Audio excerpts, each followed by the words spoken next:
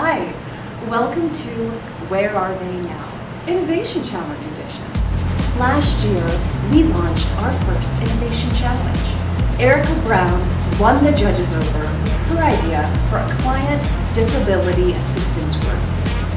And runner-up Mark Bowman won the judges over with his push for a medical legal partnership. But where are they now?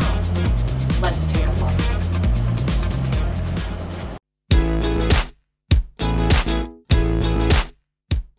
Um, I feel more recognized within the organization.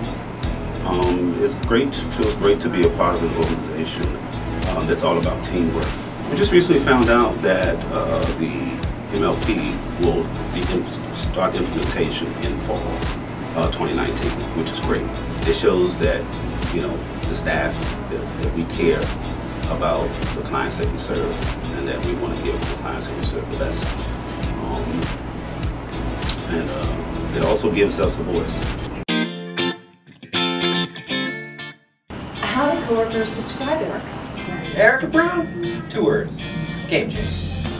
You may even remember seeing Erica in the lead up to last year's Innovation Challenge. There's just a ton of cats on my screen. She was even spotted sharing her ideas in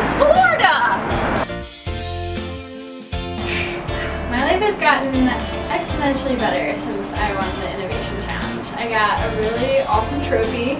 I had a lot of fun thinking of the idea and then just interacting with other people who are working and thinking of ideas, helping my colleagues and having them help me throughout the process. But most importantly, I've got to implement my idea and I get to host a client group every week where